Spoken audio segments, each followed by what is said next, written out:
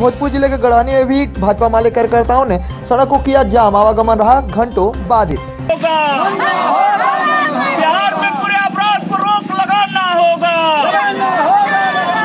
बिहार में भ्रष्टाचार पर रोक लगाना होगा।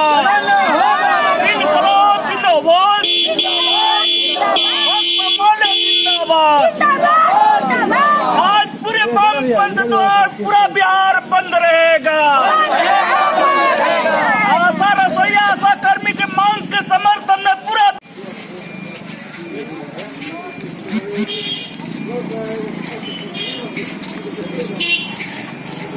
मांगे क्या है आशा कर्मी रसोईया आंगनबाड़ी सेविकाओं को अस्थायी कर्मचारी घोषित करने और अठारह हज़ार वेतन के लिए जो आंदोलन चल रहे हैं एक माह से यह बहरी सरकार उनकी मांगों को अनसुनी की हुई है।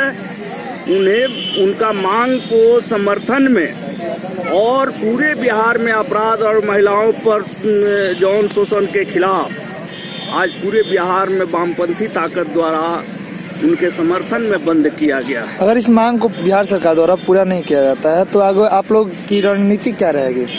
हम इसके लिए आगे और बड़ा आंदोलन करेंगे और आने वाले 19 में लोकसभा चुनाव में इन तमाम जाली नेताओं को सबक सिखाने के लिए पूरे बिहार की जनता एक मन बना चुकी है जिसे हम सफल करने के लिए हमेशा अगुवाई करते रहेंगे।